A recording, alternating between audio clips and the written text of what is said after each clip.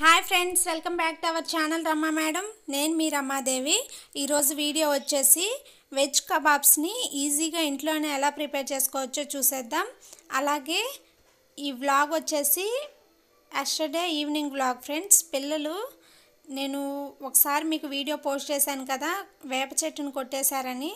ఆ ప్లేస్ అనమాట two sides రెండు వేప చెట్లు ఉండేవి. రెండింటిని కొట్టేయడం వల్ల చాలా ఎక్కువ ప్లేస్ వచ్చింది. బాగా ఖాళీ ప్లేస్ ఎక్కువగా ఉంది కదా ఇక్కడ మట్టి తోలిచ్చారు. గది కట్టించుకోవడానికి. ఈ విధంగా తోలిన మట్టిలో చక్కగా స్లైడ్ ఆట ఆడుతూ ఉంటారనమాట పిల్లలు ఈవినింగ్ టైంలో.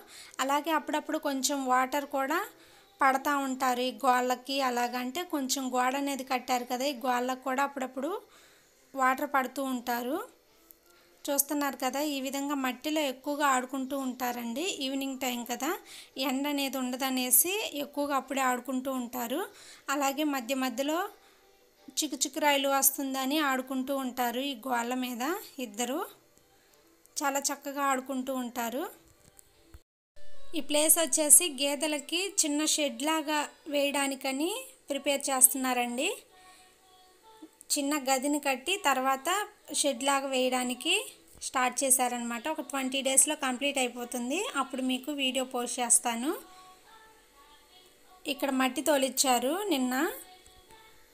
బాగా సదరం చేయడానికి. అంతకుముందు బాగా లోతుగా ఉండేదన్నమాట. పెద్ద పెద్ద రాళ్ళు అవన్నీ ఇప్పుడంతా మట్టి తోలిచ్చారు సదరం చేయడానికి.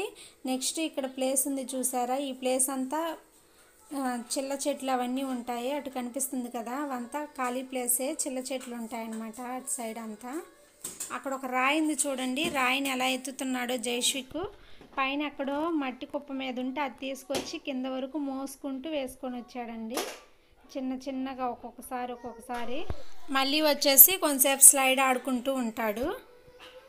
ఈ విధంగా మట్టి మీదే నిలబడి కూర్చొని ఆడుకుంటూ ఉన్నారు. ఈ వీడియో కనుక మీకు నచ్చినట్లయితే తప్పకుండా లైక్ చేయండి ఫ్రెండ్స్. అలాగే మీ ఫ్రెండ్స్కి రిలేటివ్స్కి షేర్ చేయండి. పక్కనే ఉన్న బెల్ ఐకాన్ని క్లిక్ చేసి ఆల్ని ప్రెస్ చేసినట్లయితే నేను పెట్టే ప్రతి ఒక్క వీడియో నోటిఫికేషన్ మీ వరకు వస్తుంది ఫ్రెండ్స్. నెక్స్ట్ వచ్చేసి కౌశిక్ ఇక్కడ పైన నిలబడి జైష్విక్ని పిలుస్తూ ఉన్నాడనమాట జైష్విక్ రావట్లేదని. జైష్విక్ వస్తే ఎస్ రాకపోతే నో అని సిగ్నల్ ఇస్తున్నాడు. చూస్తున్నారు కదా. జైష్విక్ కూడా చక్కగా వెళ్ళి అక్కడికే వెళ్తున్నాడు ఇప్పుడు. ఆ మట్టి బాగా జారిపోతుందండి చెప్పులు వేసుకోవడం వల్ల అందుకని స్లోగా పోతున్నాడు.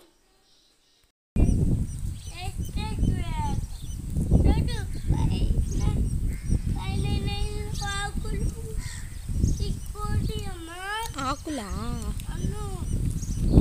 అవి కుచ్చుకుంటాయి. ముళ్ళులు ఉంటాయి దానికి. అందుకే కుచ్చుకుంటాయి చిల్లకంప కాబట్టి ముళ్ళులు ఉంటాయి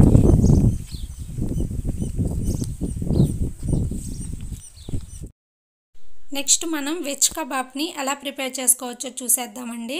ఇంట్లోనే ఈజీగా ప్రిపేర్ చేసుకోవచ్చు. ముందుగా మనం రెండు పొటాటోస్ని బాగా పీల్ చేసుకొని క్లీన్ చేసి తర్వాత చిన్న చిన్న పీసెస్గా కట్ చేసుకోవాలి. అలాగే ఒక క్యారెట్ని కూడా తీసుకోండి. ఇలాగ ఇంట్లో ఏ ఉన్నా కానీ వాటన్నిటిని ఇలా పీసెస్గా కట్ చేసుకొని ఉడికించుకోవాలి.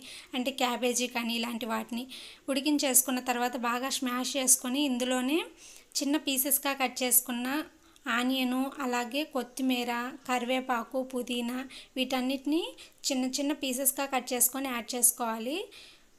అలాగే స్పైసీకి సరిపడా కారం యాడ్ చేసుకోవాలి. కొంచెం ఎక్కువగానే యాడ్ చేసుకోండి కారము. లేదంటే పచ్చిమిర్చి పేస్ట్ కూడా యాడ్ చేసుకోవచ్చు. నెక్స్ట్ రుచికి సరిపడా సాల్ట్ యాడ్ చేసుకోవాలి. నేను పొటాటోస్ ఉడికించేటప్పుడు కొంచెం సాల్ట్ యాడ్ చేశాను. అందుకనేసి కొంచెం తక్కువ యాడ్ చేశాను అనమాట అలాగే కొంచెం గరం మసాలా యాడ్ చేసుకోండి. ఈ గరం మసాలా మనం ఇంట్లోనే ప్రిపేర్ చేసుకోవచ్చండి. లేదంటే స్పైసెస్ ఉంటాయి కదా చెక్క మొగ్గ లవంగాలు యాలకులు మిరియాలు వీటన్నిటిని యాడ్ చేసుకొని బిర్యానీ ఆకు బాగా లో ఫ్లేమ్ మీద డ్రై రోస్ట్ చేసి మనం మిక్సీ పట్టేసుకుంటే గరం మసాలా అనేది రెడీ అయిపోతుంది. తర్వాత ఇందులోనే మనం ఎగ్ని బీట్ చేసుకున్నాను నేను టూ ఎగ్స్ వరకు బీట్ చేసుకున్నాను. ఇలా బీట్ చేసుకున్న తర్వాత వీటిని పక్కన పెట్టేసుకోవాలి. అలాగే మనం కబాబ్స్ని ప్రిపేర్ చేసుకునేటప్పుడు బ్రెడ్ బ్రెడ్ పీసెస్ కూడా కావాలన్నమాట. అంటే నెక్స్ట్ కబాబ్స్కి వచ్చేసి బ్రెడ్ క్రంచెస్ తీసుకోవాలండి. అంటే మన ఇంట్లో నాన్ రొట్టె లాంటిది ఏదైనా ఉన్నట్లయితే ఒక రెండు పీసెస్ వరకు తీసుకొని వాటిని డ్రై రోస్ట్ చేసుకోవాలి. ఇలా టూ మినిట్స్ పాటు డ్రై రోస్ట్ చేసుకున్నట్లయితే వాటిలో ఏదైనా తడి ఏదైనా ఉన్నట్లయితే తడి బాగా పీల్ చేసుకొని మనం మిక్సీ జార్లో వేసి మిక్సీ పట్టుకున్నట్లయితే బాగా పొడి పొడిగా వస్తుందన్నమాట మెత్తగా ఉండకుండా. ఈ విధంగా మిక్సీ జార్లో మి వేసి మిక్సీ పట్టేసుకొని మనం ఒక గిన్నెలోనికి తీసి పెట్టుకోవాలి. ఇప్పుడు మనము ముందుగా కలిపి పెట్టుకున్నాం కదా వీటన్నిటిని బాగా కలుపుకోవాలి. ఈ విధంగా కలుపుకున్న తర్వాత మనము డీప్ ఫ్రై చేయాలనుకుంటే ఇందులోనే కొంచెం మైదాని యాడ్ చేసుకొని డీప్ ఫ్రై చేసుకోవచ్చండి.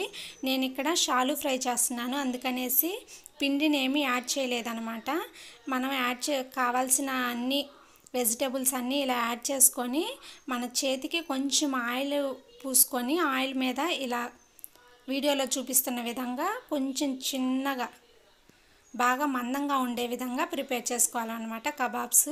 ఈ విధంగా రెండు మూడింటిని ప్రిపేర్ చేసుకోండి.